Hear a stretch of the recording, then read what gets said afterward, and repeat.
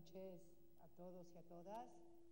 Señor viceprimer ministro del Estado de Qatar, señor presidente del Consejo Empresario del Estado de Qatar, señores miembros del gabinete, miembros de la familia real, empresarios y empresarias cataríes y también a la comitiva que me acompaña de la Argentina, tengan todos ustedes muy buenas noches y realmente son unas buenas noches que no son protocolares, son muy buenas noches porque hemos transcurrido un día muy fructífero en lo que significa la profundización de las relaciones entre la República Argentina y el Estado de Qatar. Realmente, en pocas oportunidades, uno puede encontrar dos estados, en este caso el de Qatar y el de la República Argentina, que sean tan complementarios y que sus demandas estén, como comúnmente se dice entre los hombres y mujeres de negocios, calzados, esto es, encastrados. Tenemos aquí al Estado de Qatar, uno de los principales productores de gas en el mundo, y precisamente el rubro principal de sus exportaciones. Y tenemos aquí, representado en la República Argentina, uno de los mayores productores en materia de alimentos y en materia de agroindustria y también en materia de ciencia y tecnología en áreas que también son absolutamente estratégicas para el Estado de Qatar y su desarrollo, basado fundamentalmente en la incorporación de tecnología. Esta tarde, esta mañana, perdón, en la charla que mantuvimos durante el almuerzo con Su Alteza el Emir de Qatar, yo le comentaba y él coincidía absolutamente conmigo en que tres van a ser los insumos básicos por así decirlo, del siglo XXI y los que van a permitir a nosotros, países emergentes, dar un salto cualitativo y cambiar las relaciones económicas y comerciales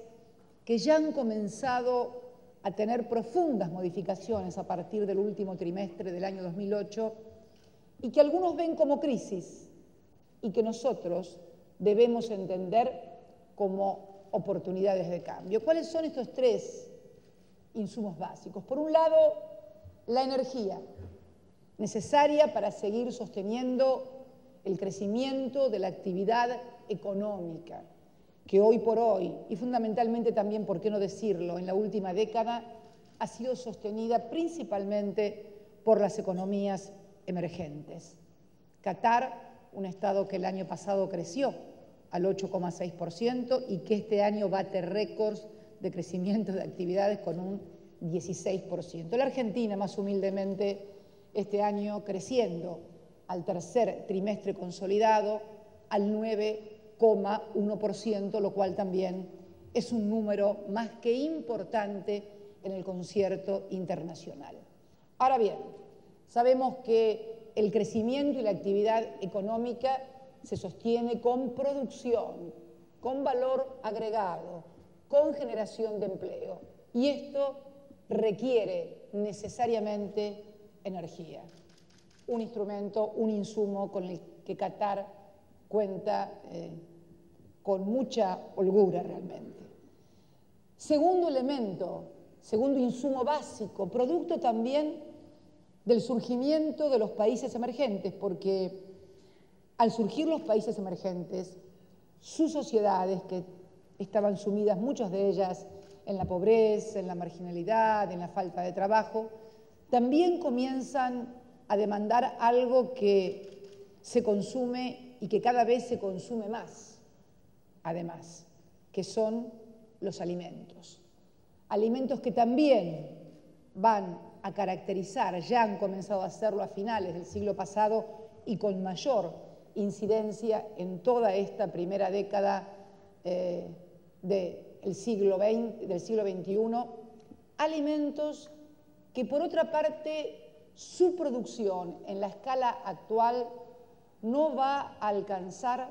a cubrir la demanda que el mundo requiere. Por lo tanto, va a aparecer también lo que yo denomino el tercer insumo básico del siglo XXI, que ya se comenzó a esbozar en algunos sectores, fundamentalmente las informáticas y las comunicaciones, que es la ciencia y la tecnología, el conocimiento, insumo también básico que va a determinar el posicionamiento estratégico de los países en lo que va del siglo XXI. Y Argentina, vinculada a ciencia y tecnología, es también un actor principalísimo. Vinculado a los alimentos, porque sostenemos que a partir de la ciencia y de la tecnología vamos a poder cubrir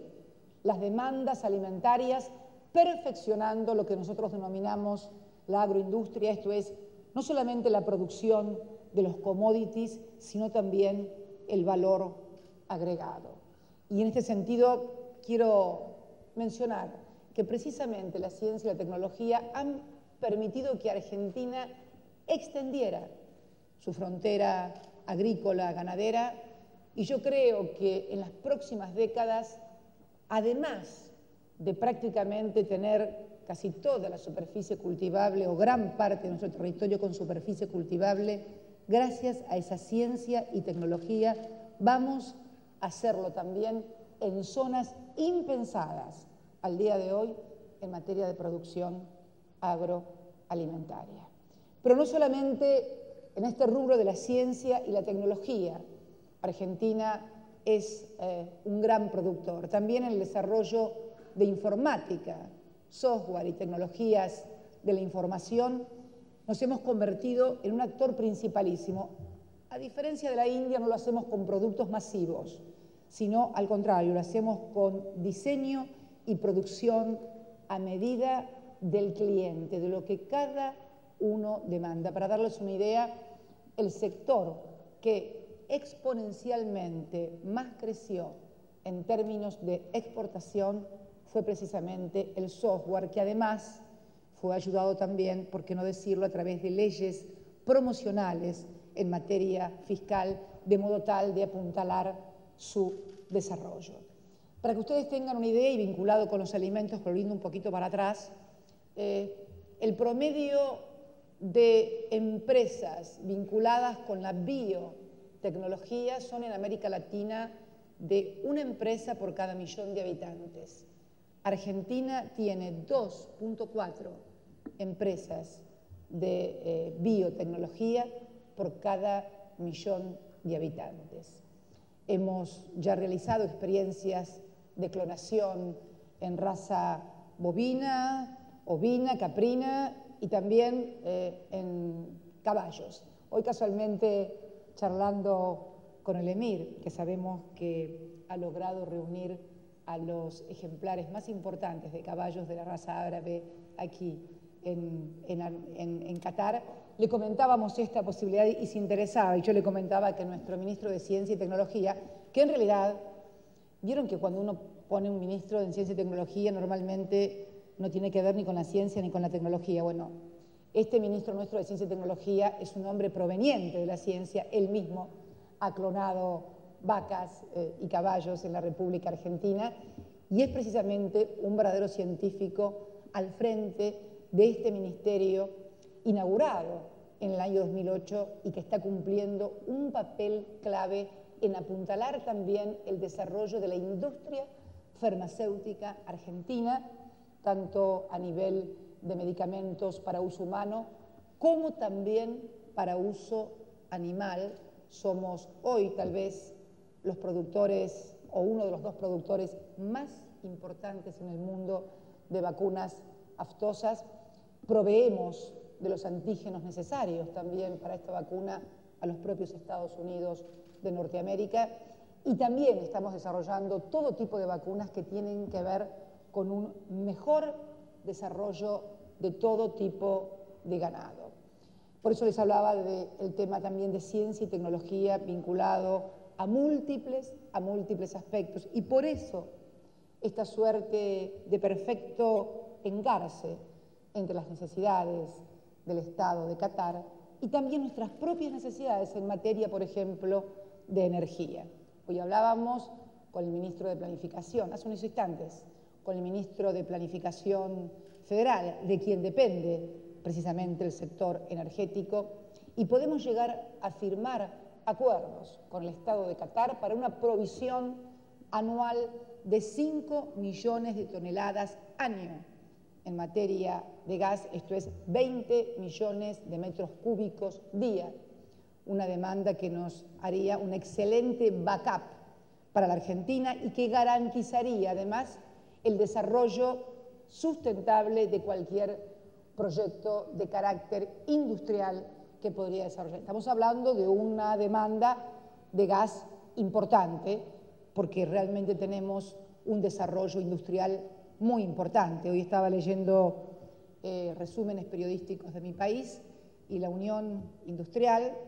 cuyo vicepresidente nos acompaña, y también estoy muy contenta porque han firmado en el día de la fecha un acuerdo de entendimiento con su par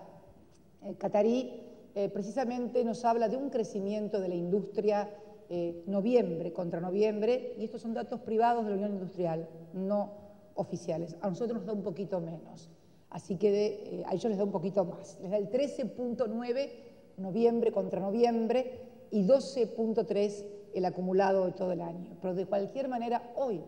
la actividad industrial está por sobre encima del nivel de actividad económica, lo cual nos exige a nosotros tener un fuerte aprovisionamiento en materia energética para seguir dando sustentabilidad a este crecimiento de la República Argentina, que es en nuestros 200 años de historia el periodo de crecimiento económico más sostenido. Ya va a empezar su octavo año y de mayor inclusión social de toda su historia. Y también otro tema que abordamos y en la cual la Argentina tiene un gran expertise, que es en materia de energía nuclear. Somos el país con mayor desarrollo en energía nuclear en toda Latinoamérica. También debo decir que en materia de ciencia y tecnología, para nosotros es un gran orgullo decirlo como argentinos,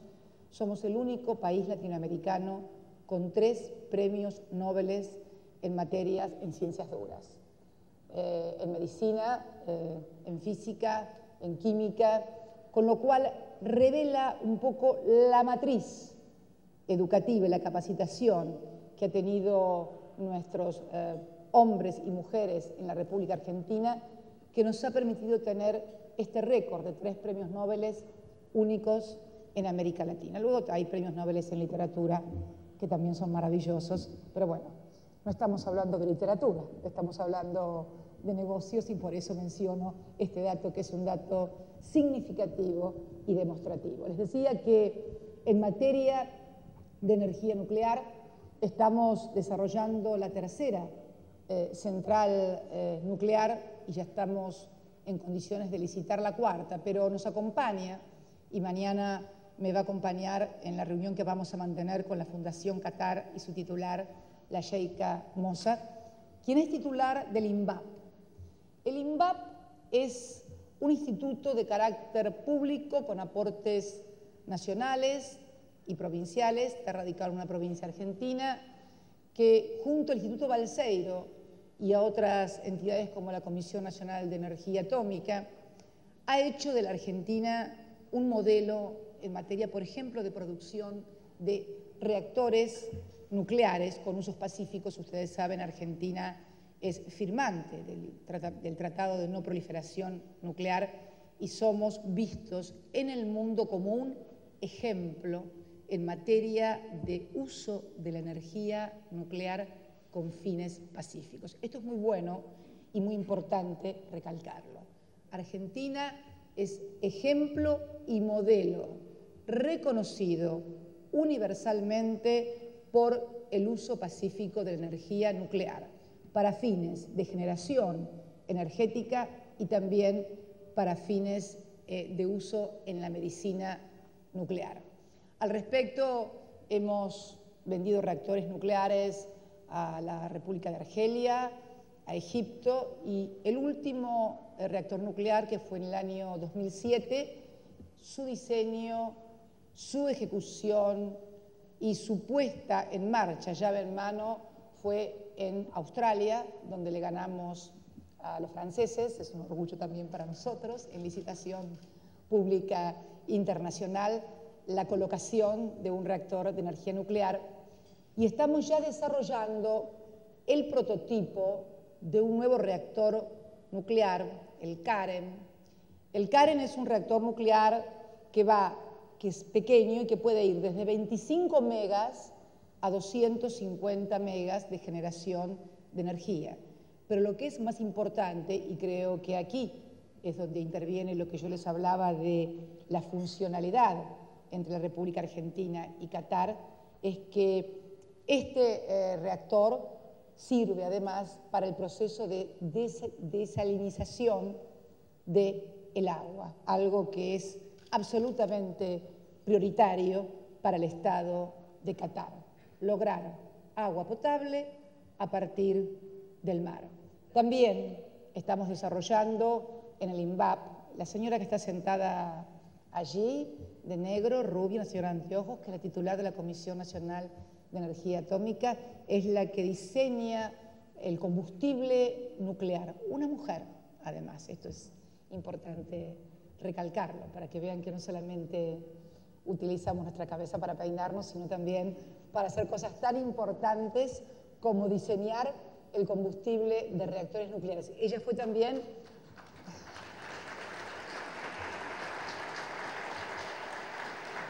Ese es un aplauso para las mujeres argentinas y para todas las mujeres cataríes también. Eh, vale para todas, vale para la mujer, porque además sé también el rol, el rol que el Estado de Qatar eh, le, ha dado y le da a la mujer. Así que valga el aplauso para todas. Y mm, en el caso eh, del diseño de reactores nucleares también con usos pacíficos, creemos que estamos en condiciones de hacer importantes acuerdos con el Estado de Qatar. Eh, la Argentina, para terminar, también en minería, eh, y sé que hay mucho interés por parte de, de Qatar en el sector de minería, la Argentina ha desarrollado y está desarrollando importantes proyectos en la cordillera de los Andes. Tenemos iniciado el primer proyecto binacional en materia minera, oro y plata,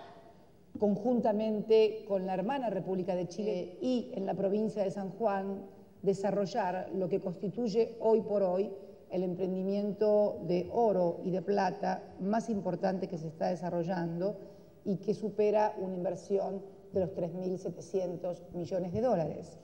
Lo mismo, por ejemplo, en materia de potasio, vamos eh, a iniciar conjuntamente con la empresa brasilera Vale Río Doce lo que va a constituirse en la mina de potasio más importante del mundo, con sede en la provincia de Mendoza y que, como todos ustedes saben, el potasio cumple un rol importantísimo en todo lo que hace a la industria de agroquímicos y, por lo tanto, directamente vinculado con la eh, agricultura. Y también somos el segundo productor de litio a nivel mundial. Eh, bueno,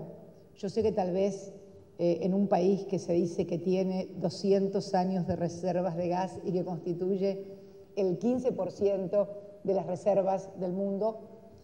el litio que alimenta las pilas por ahí no sea tan importante, pero tengan en cuenta que muchas terminales automotrices globales, ustedes son socios creo de una de ellas, Volkswagen, eh, y algunas otras, están anunciando a 30 o 40 años autos urbanos a pila, con lo cual eh, el litio va a adquirir también un valor estratégico. Y como decíamos y coincidíamos hoy con Su Alteza el Emir, hemos aprendido, los hombres y mujeres que tenemos responsabilidades de gobierno, que nada es para siempre. Lo que parecía invulnerable se desmoronó en el último trimestre del año 2008, lo que parecía casi una inversión absolutamente segura, como eran los activos financieros, se convirtieron casi en un verdadero problema y en un verdadero dolor de cabeza, por lo cual la diversificación en las inversiones y fundamentalmente la diversificación vinculada hacia aquellos insumos que van a ser estratégicos para el siglo XXI constituyen mm, más que nada una necesidad de todo dirigente con responsabilidad estatal y con mirada estratégica. Para terminar, porque es importante conocer eh, cuando uno habla con un gobernante cómo está ese país, creo que si tuviéramos posibilidades de ver una película para atrás y retrotraernos a lo que fue y lo que pasó en Argentina en el año 2001, con el default soberano más importante del que se tenga memoria, con una crisis social que representaba al 25% de su población desocupada, con un casi 60% de pobreza y un 30 y pico de indigencia, con apenas 9 mil millones de dólares de reserva en el Banco Central, con una relación deuda-PBI del 160%, ver hoy un, y un aparato industrial absolutamente devastado y en retroceso, ver a esta Argentina que desde el año 2003 a la fecha ha logrado reducir reducir su relación entre Producto Bruto y deuda a menos del 30%, que ha logrado reducir la desocupación aún pese a la crisis del año pasado al 7.4%, que ha logrado también una reducción drástica en sus niveles de pobreza e indigencia, que ha alcanzado un crecimiento promedio entre el 8 y el 9% desde el año 2003 a la fecha, que ha aumentado sus exportaciones del año 2003 de 25 mil millones a seguramente este año perforar la barrera de los 80 mil millones de dólares y acumular, y acumular luego de pagar la reestructuración de su deuda soberana en un 93%, hemos reestructurado la deuda soberana, acumular luego de pagar sin acceder al mercado de capitales eh, haber acumulado en el Banco Central 52.385 millones de dólares, con un pujante y sólido mercado interno que hoy protagonizan un verdadero boom de consumo, permite visualizar la inmensa capacidad de nuestro país para poder generar riqueza. La clave estuvo en que esa riqueza además fuera con inclusión social, algo que hemos charlado con el emir, con su Alteza, y que coincidimos absolutamente, la necesidad de que los pueblos participen también del crecimiento de la riqueza de un país. Él me contaba algo que me impresionó mucho para finalizar, que cuando era muy pequeño iba al colegio, venía al colegio en su camello o en su caballo y venía descalzo. Y me miró a mí y me dijo, y usted seguramente cuando iba también al colegio, en su país no había democracia, había dictadura. Y mire lo que hemos avanzado y lo que ha hecho cada uno de nuestros países. Y realmente me impresionó mucho porque creo que es allí en los resultados concretos, objetivos, cuantificables, verificables, puntuales, en donde pueden medirse los éxitos de un sistema de gobierno y esencialmente de las políticas macroeconómicas que lleva adelante un Estado. Yo como presidenta de todos los argentinos en el día de la fecha en que hemos firmado con el Estado de Qatar seis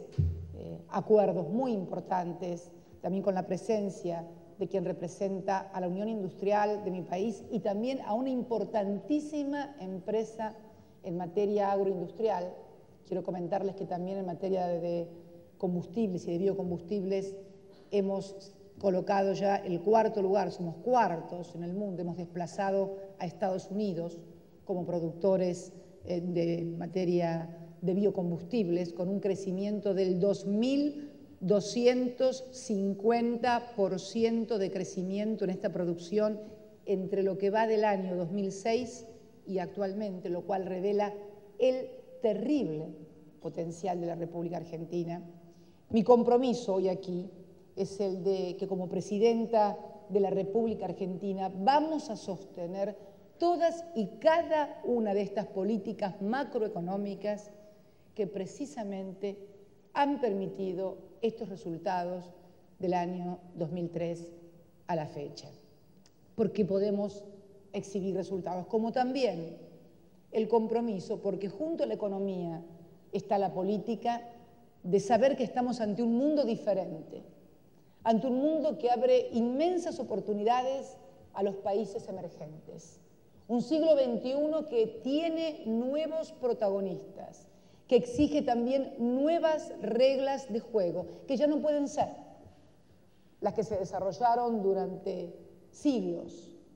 los cuales los países desarrollados nos vendían sus productos con altísimo valor agregado, generando bienestar en sus sociedades y nosotros, los países emergentes, vendíamos nuestros commodities a muy bajo precio, generando únicamente riqueza y dolor en nuestras sociedades.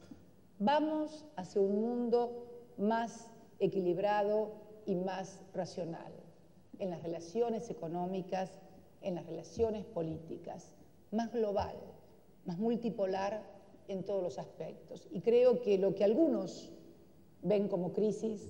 reitero, nosotros debemos verlo como un momento de cambio y como un momento de grandes oportunidades, de grandes oportunidades para la Asociación Estratégica del Estado de Qatar y de la República Argentina, mi país. Muchas gracias y muy buenas noches a todos y a todas.